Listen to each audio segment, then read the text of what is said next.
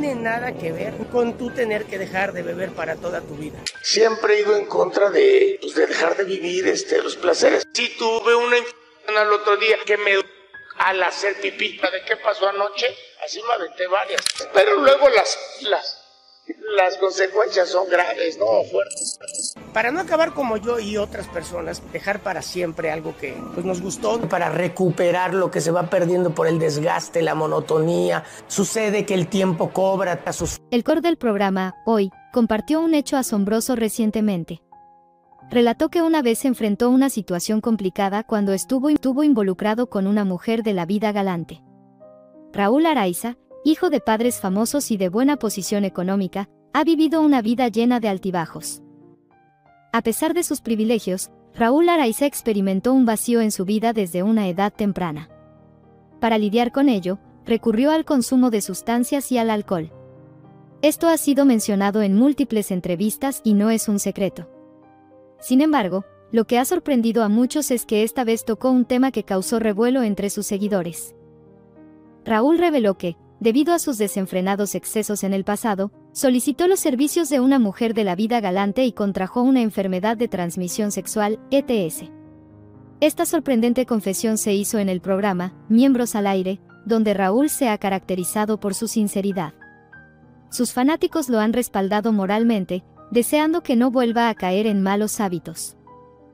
Es importante recordar que Raúl Araiza ya había compartido previamente su experiencia de internarse en una clínica para superar problemas de adicción. En esta ocasión, habló sin rodeos sobre su falta de precaución en ese momento, ya que en esa época no se utilizaban preservativos. No ofreció más detalles sobre la ETS que contrajo, pero sí destacó que logró superarla con penicilina, un antibiótico comúnmente utilizado para tratar estas infecciones. Este relato no solo sorprendió a sus seguidores, sino que también planteó cuestionamientos sobre las prácticas sexuales y la importancia del uso de protección en las relaciones íntimas. Raúl decidió compartir su experiencia personal para advertir a otros sobre los riesgos de no tomar precauciones en encuentros íntimos impulsivos. A lo largo de los años, Raúl Araiza se ha destacado por su franqueza y disposición a compartir aspectos de su vida personal. Ya sea en el programa Hoy, en Miembros al Aire o en entrevistas, ha demostrado su lado humano y vulnerable. Su mensaje en esta ocasión es que cometer errores es parte de la vida, incluso para las celebridades, y que lo fundamental es aprender de ellos. La historia de Raúl Araiza es un recordatorio de que, a pesar de sus errores pasados, uno puede superar obstáculos y crecer a partir de esas experiencias. Su sinceridad tiene el propósito de hacer que su audiencia reflexione sobre las decisiones en su vida y evite enfrentar las consecuencias de elecciones imprudentes. Su mensaje es que todos somos vulnerables y debemos cuidar nuestra salud y bienestar. En resumen, la confesión de Raúl Araiza es una lección de vida sobre la importancia de la responsabilidad en la vida íntima y la relevancia de la prevención en la salud sexual.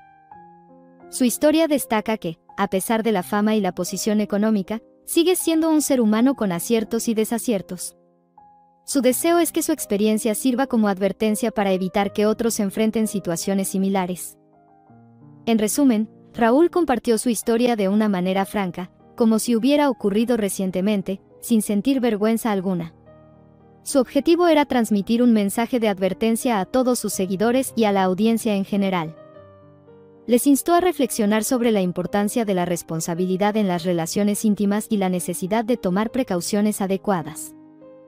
En la cultura popular, a menudo se nos ha enseñado que el embarazo no planificado es uno de los resultados más preocupantes de las relaciones íntimas. Sin embargo, Raúl Araiza subrayó que, en realidad, el embarazo es un milagro y algo que se percibe como un evento positivo. En su experiencia, lo que es verdaderamente preocupante son las situaciones que pueden desencadenar arrepentimiento a lo largo de toda la vida. Continuando con su narración, Raúl describió cómo hace tiempo se involucró con una dama de compañía, empleando un término más adecuado.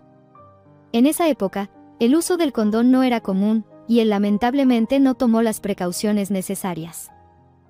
Al día siguiente, experimentó síntomas desagradables que aumentaron al orinar, lo que lo llevó a buscar ayuda médica. Finalmente, se libró de la ETS con un tratamiento de penicilina, un antibiótico comúnmente utilizado para tratar este tipo de infecciones. El relato de Raúl Araiza se centra en destacar la importancia de la prevención y la protección en las relaciones íntimas. Su intención es recordarnos que todos somos vulnerables y que los errores pueden ocurrir, independientemente de la fama o la posición social.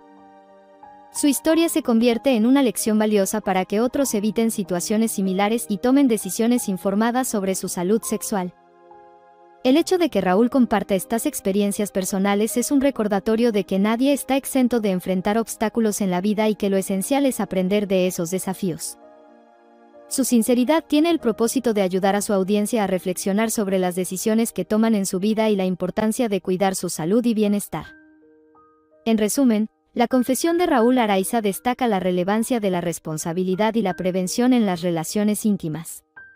Su historia pone de manifiesto que todos somos humanos, independientemente de nuestra fama o posición económica, y que todos podemos cometer errores.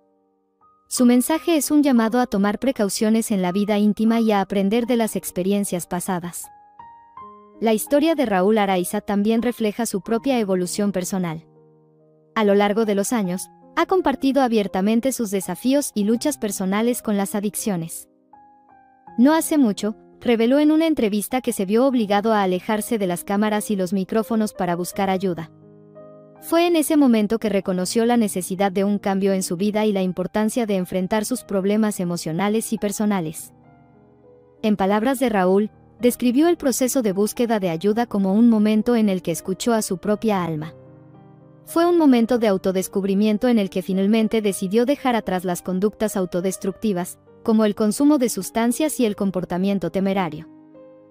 Como celebridad en un medio donde la imagen pública y la presión son intensas, Raúl también compartió cómo en la pantalla todos presentan su mejor versión, ocultando sus propios desafíos personales.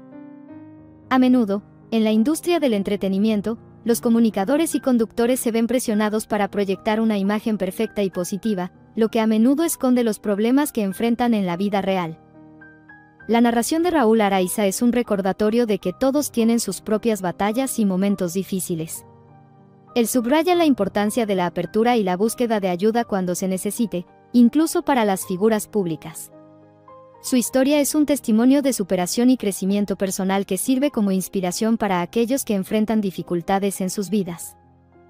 A lo largo de los años, Raúl ha reforzado la idea de que es fundamental abordar nuestros problemas y desafíos personales.